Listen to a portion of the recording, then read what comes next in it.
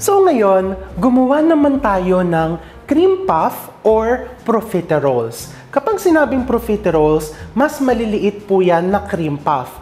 Best for a dessert spread or dessert buffet. Pwede mong tawagin tong cream puff or profiteroles kung saan ka masaya at kung saan mas bibilib ang mga customers at ang pamilya mo.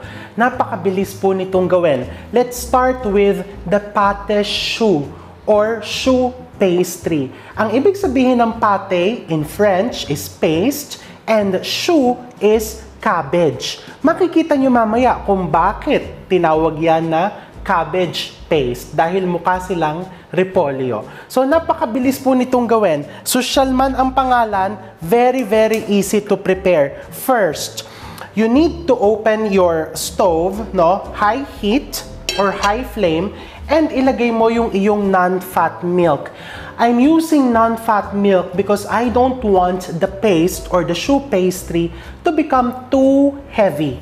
So you put your non-fat milk and your butter. So I'm going to bring this to a full boil. Papakuluin mo hanggang matunaw yung iyong butter, no? Ganun lang kasimple. And then you also need your flour, all-purpose flour, eggs, and your salt. Konting asin lang.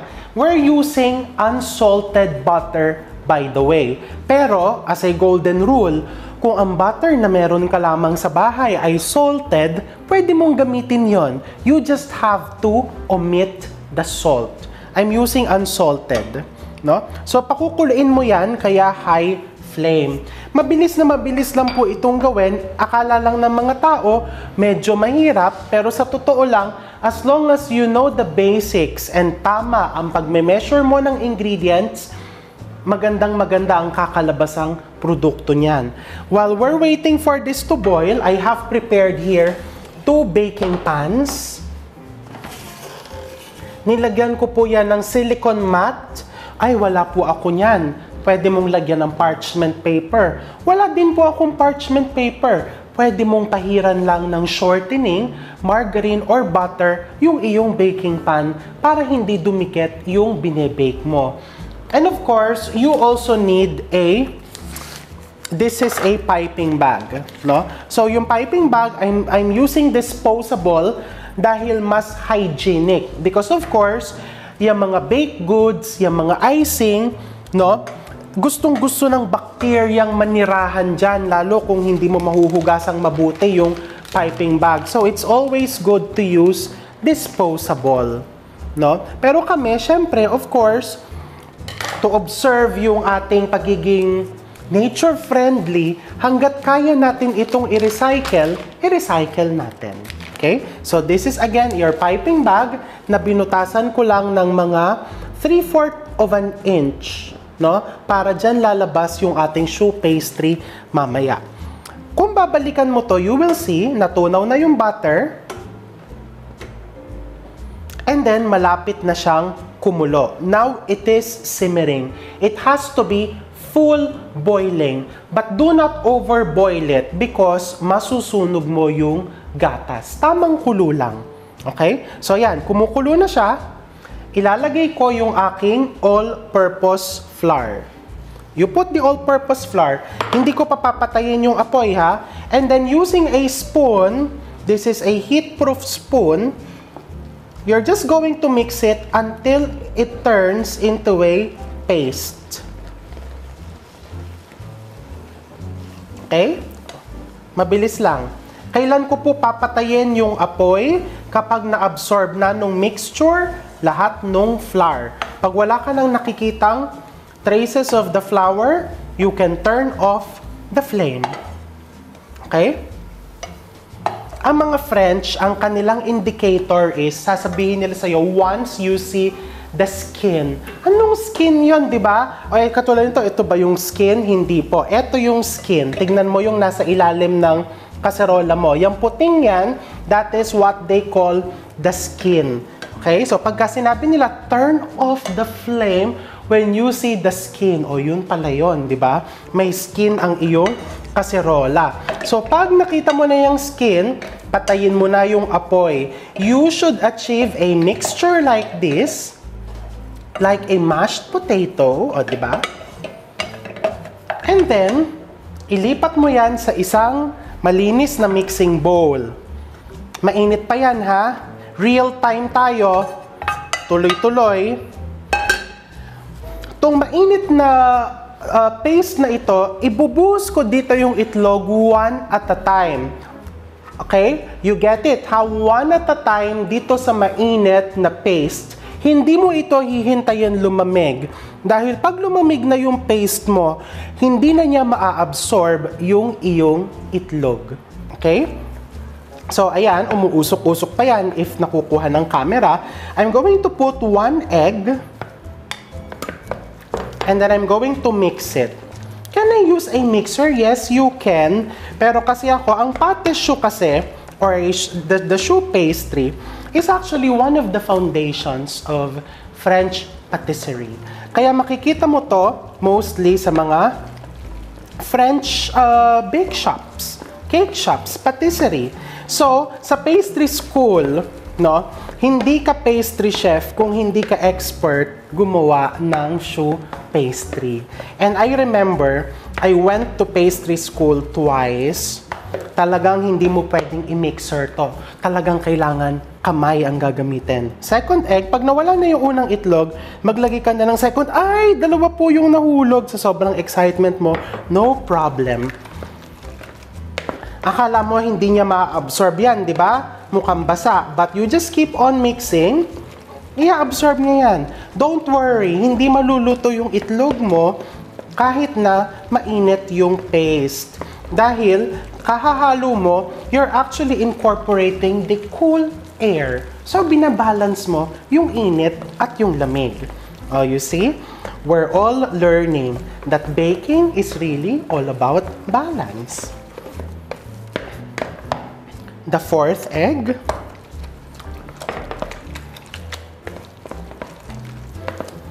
And you know, you will discover, hindi lang ito pang cream puff.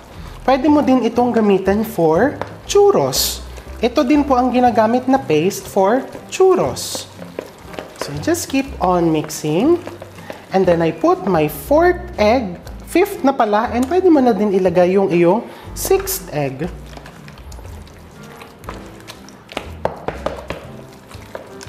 Okay?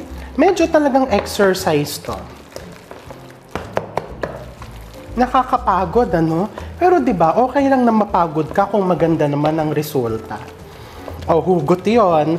I'm sure may marami sa inyo nakaka-relate. Pwede ko po bang lagyan ng flavor yung pinaka-paste? Actually, pwede. Pero, yung classic talaga, we just keep it uh, plain. And then we just put different flavors dun sa loob pagkaluto. So now, once it's like a paste like this, eto na yon, it's now a smooth paste.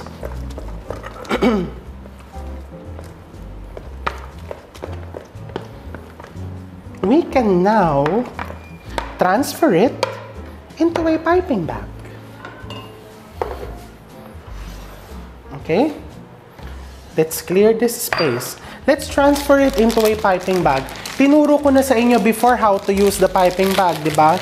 Dun sa vanilla cupcake recipe. Yan, maglagay ka lang dyan.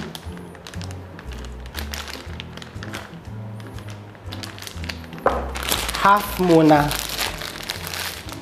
And then you push it, checking na wala dapat mga na-trap na air bubbles na malalaki para dire-diretso yung pagpapipe mo. And then you get your baking pan. Look, pag nagpipe ka niyan, kailangan diretso. Tingnan nyo ha, hindi yan basta-basta tutulo. Don't worry. It has to be thick like this. You push, and then you stop, and then you swirl.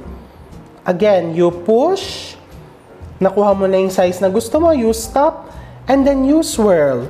You push, you stop, you swirl, you push, you stop, you swirl. Okay? That is your cream puff or your profiterole. Pwede po ba yung eclair? May nakikita po akong eclair.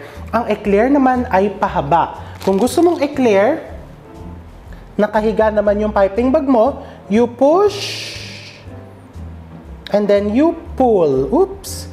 You pull. Yan. Push. Nakuha mo na yung size na gusto mo, you pull. Paano po yan? Hindi po maganda yung dulo. Okay? Teka, kukuha ko ng tubig. Kumuha ka ng tubig, you dip your finger, and then, pindutin mo lang yung dulo para ma-flatten. Don't let na may mga nakapik sa taas kasi masusunog yan during the baking. So, see? So, these are your profiteroles. These are your eclair. Kung gusto mong parang donut ang style, eh pabilog na ganon. Ay, eh paano po yan? Pasmado po ako.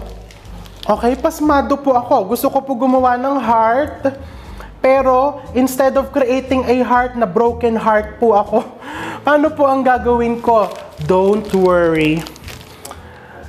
Pate shoe, hindi lang siya social pakinggan, it's also very forgiving. Ibig sabihin, nagkamali ka, may second chance pwede mo yan ibalik dun sa bowl and then ibalik mo sa piping bag. ba? Because everybody deserves a second chance. So, tatapusin ko yung pagpapipe ng aking profiteroles and then I'm going to bake it in a hot oven. I will indicate on the recipe yung temperature and then yung number of minutes. And then after baking, I'll show it to you. Ganito po ang itsura niyan ha lalagyan mo ng space kasi aalsa yan. So I'm going to bake it. I'm going to finish piping. I'll bake it and then I'll show you after. So, ayan na. Tignan ninyo. Nicely golden brown after baking it. Di ba? Ang ganda nila. And, di ba mukha silang repolyo? Oh, di ba? I told you. So here, in, in my stainless uh, casserola, I'm putting some fresh milk. Oops. You put some fresh milk. This is now the creme patisserie or the pastry cream. Cornstarch, egg yolks, and white sugar. You can put vanilla extract if you want. No? Before I turn on the heat or the flame, i-dissolve ko muna yung cornstarch to make sure na walang lumps. And then now I'm turning on the flame, medium flame with constant stirring. Pakukuluin ko to. Dito naman sa kabila, I made a ganache. Ito yung ating pinaka magiging coating. I made it by combining 2 cups of cream, 2 cups of cream, and 3 cups of Belcolad dark chocolate. Belgian chocolate. So, ininit ko lang hanggang maging ganitong kalapot. No? Mabilis lang to. Actually, sobra-sobra to. So, what I do, pwedeng you can cut the recipe uh, into half if you want.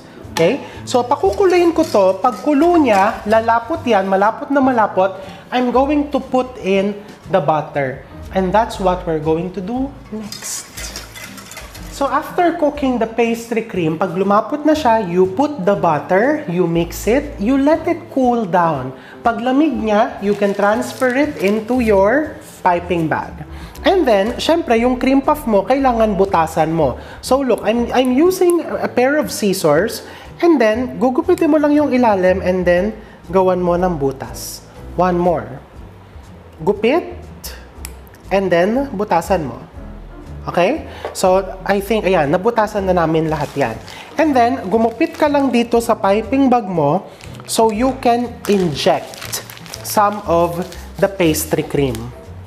So, you get the cream puff, you get your pastry cream, you inject.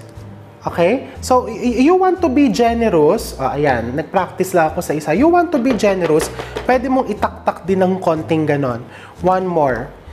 Pasok mo ng konti yung pastry cream and then you inject. How do you know kung tama na? Medyo umaapaw na dapat dito sa loob. Sa labas pala, sorry. Okay? Hindi naman nakakauma yung pastry cream, so pwede mong dagdagan yan. Masarap kasi yung punong-puno ang feeling. Di ba? Natatawa tuloy ako. O, di ba? Maganda yung punong-puno ang feeling. Hindi tinitipid ang feeling. And syempre, lalagyan mo ng masarap na chocolate topping. You dip it. You shake it. Ah, look.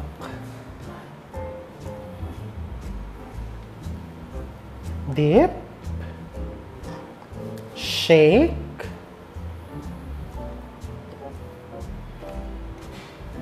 Dip. Shake. O, di ba? And syempre, I'm going to show you what's inside. I'll just get a knife.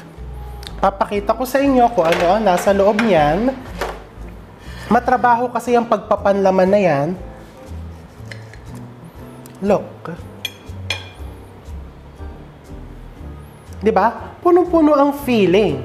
Di ba? Hindi tinipid. And of course, it's very delicious. You will know kung maganda ang pagkakagawa mo ng iyong pate choux or choux pastry kung yung loob talaga niya is may hangin. And dapat pantay ang hangin sa loob. Look. Okay? There's enough space for you to put the filling. Pwede ka din maglagay dito ng savory filling. For example, you want to put chicken alaking filling, uh, giniling, pwede rin. So, ano pa hinihintay mo? Gumawa ka na and make your dessert table for the holidays. Extra special. I'll try it. Mm. Classic and very good. Stay safe, everyone.